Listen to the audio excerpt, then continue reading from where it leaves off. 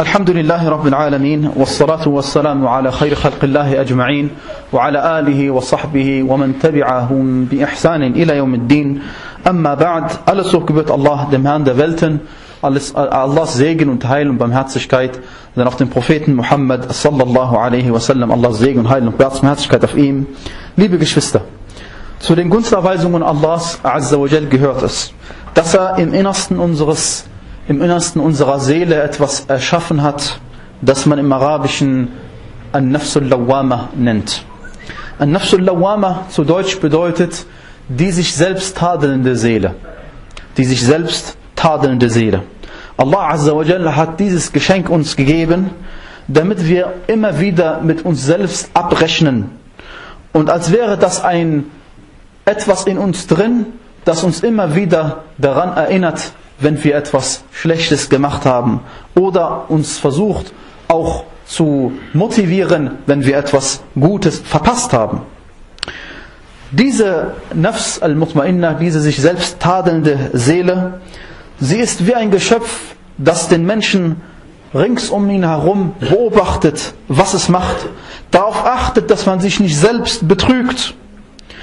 Sie ist bei Allah so wertvoll, dass Allah Azza bei ihr geschworen hat, Allah sagte, La uqsimu biyawm al-qiyamah, ich höre beim Tag der Auferstehung, Wala uqsimu bin nafs al und ich schwöre bei der sich selbst tadelnden Seele.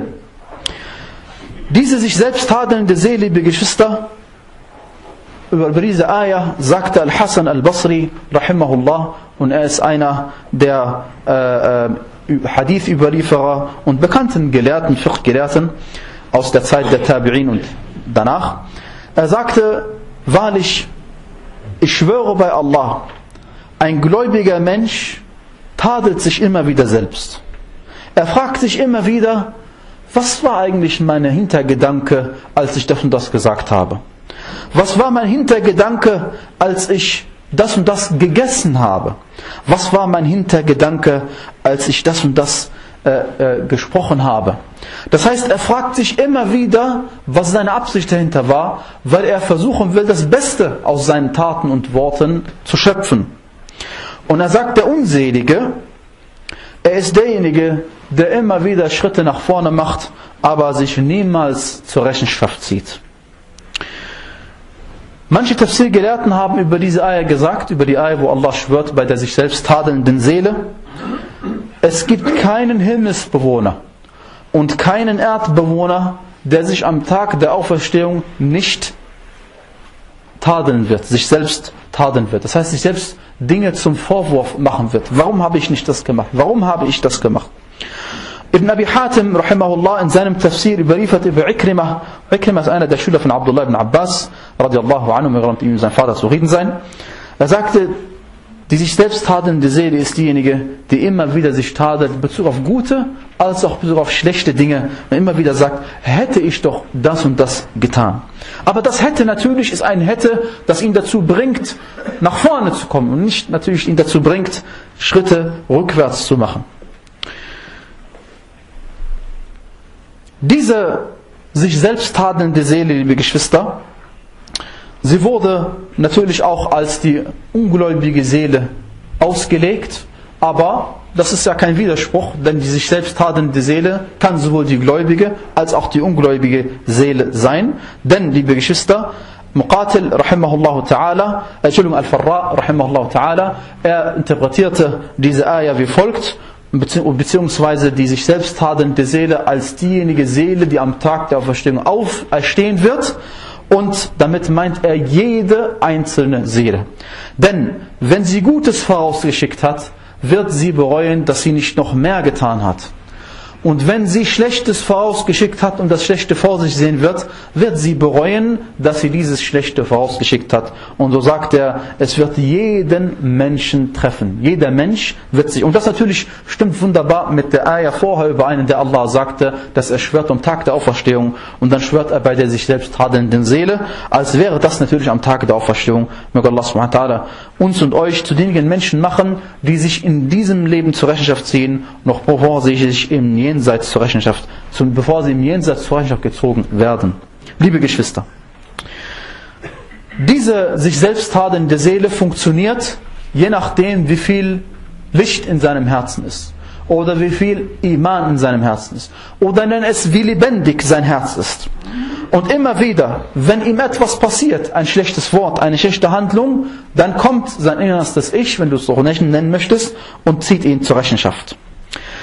Der gläubige Mensch hat sechs verschiedene Aufgaben, die er nach seiner Ibadah zu vollziehen hat. Wenn er Allah Azza wa auf die vollkommene Art und Weise anbeten möchte.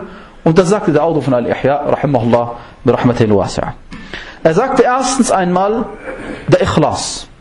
Der Ikhlas natürlich, liebe Geschwister, gemeint ist damit vorher und währenddessen und auch hinterher, dass man sich überlegt, war diese Tat einzig und allein für Allah Azza wa Und wir möchten natürlich diese Aufgaben, diese sechs Punkte übertragen auf die Situation, in der wir uns jetzt gerade befinden. Wir befinden uns jetzt gerade während der Freitagspredigt und wir möchten im Anschluss das Freitagsgebet verrichten und wir achten darauf, dass wir Allah Azza wa Jal auf die vollkommene Art und Weise anbeten. Die erste ist die Absicht. Und damit meine ich auch, dass man sich bewusst macht, warum man zum Freitagsgebet geht. Man macht sich bewusst, dass Allah im Koran gesagt hat, oh, die ihr glaubt, wenn zum Gebet am Freitag, zum Gedenken am Freitag aufgerufen wird, dann beeilt euch zum Gedenken Allahs. Zum Gebet aufgerufen wird. Das heißt, der Mensch macht sich bewusst, dass er gerade Allah dient. Zweitens, dass man die Nasiha für Allah Azza in, in, in Bezug auf Allah subhanahu wa ta'ala. Und damit ist vieles gemeint. Darüber haben wir die ganze Predigt gehalten oder zwei. Und ich interpretiere das jetzt mit, der, mit, mit, damit, dass man während man im Gottesdienst ist, sich klein macht. Dass man während man im Gottesdienst ist, fühlt, dass man unterwürfig ist für Allah, bei Allah subhanahu wa ta'ala.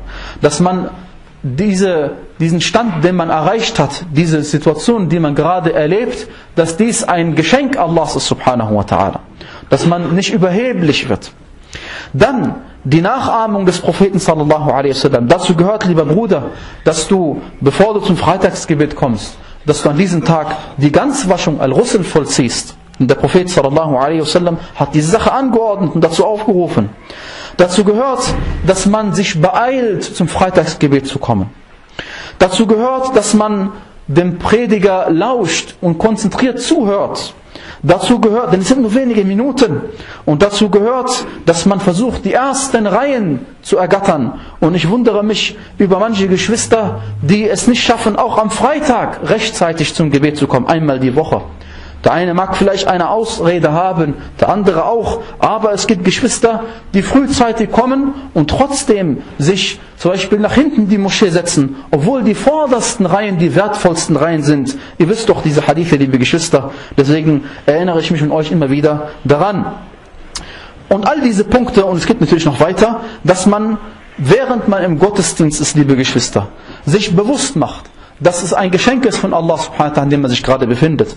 Dass man sich nicht auf die eigene Schulter klopft und sagt, Gott sei Dank, ich habe das gut hingekriegt heute, Alhamdulillah. Nein, du sollst dir bewusst machen, dass das ein Geschenk ist Allahs.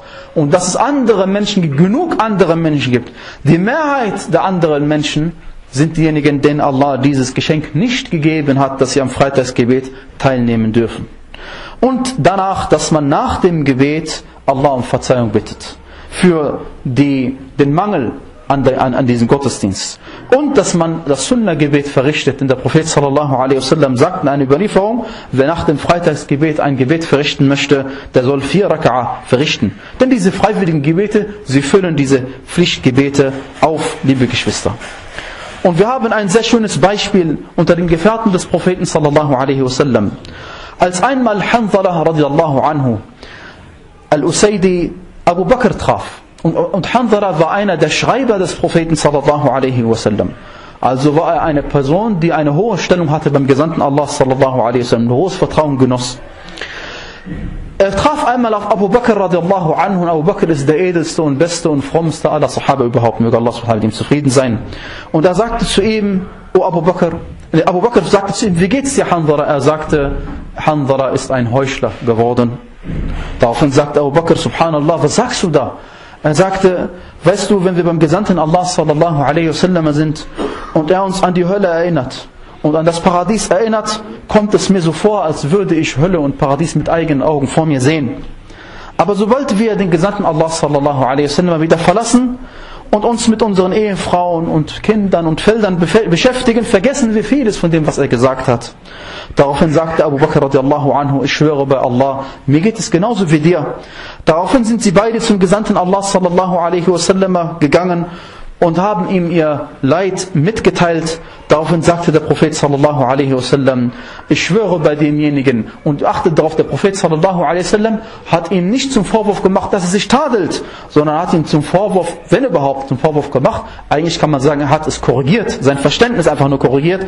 Er sagte, ich schwöre bei demjenigen, dessen Hand meine Seele ist, wenn ihr euch in dem Zustand befinden würdet, in dem ihr euch bei mir befindet. Das heißt, wenn ihr so weiterhin in dem Zustand verfahren und bleiben würdet, in dem Zustand, den ihr mich verlassen habt, dann würden die Engel euch sogar auf euren Betten und auf den Wegen, auf denen ihr lauft, mit dem Handschlag begrüßen. Aber Hanwara, manchmal braucht man Zeit für das eine und manchmal braucht man Zeit für das andere. Und das sagte der Prophet sallallahu alaihi wasallam dreimal. Und so sieht man, dass, Allah azza einen nicht zur Rechenschaft zieht dafür, wenn man ein wenig Zeit auch für Weltliches verbringt. Aber liebe Geschwister, das ist eben der Punkt. Sie haben Angst gehabt, weil sie zu viel, wie, äh, es, dass sie, dass, sie, dass sie zu kurz treten, aber sie waren, wer sie waren, möge Allah mit ihnen allen zufrieden sein.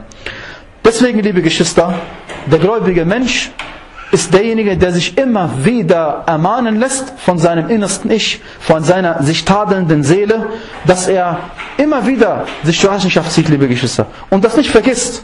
Und es gibt edle Beispiele, da möchte ich euch eins oder zwei Beispiele zeigen. Eins davon ist von Al-Ahnaf ibn Qais.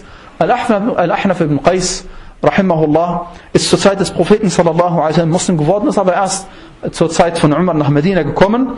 Und er, damit er sich selbst zur Rechenschaft zieht und erinnert an das Jenseits der Geschwister, hat er, ist er zu einer Öllampe gegangen, hat äh, seinen Finger dorthin getan, liebe Geschwister, um zu schmecken, um zu spüren, was ihn erwartet im Jenseits, wenn er sich nicht vorher schon zur Rechenschaft zieht. Liebe Geschwister, der Prophet sallallahu alaihi wasallam hat uns in dieser, in dieser Hinsicht genug aufgeklärt. Unsere Aufgabe ist es, zusammengefasst Folgendes zu machen.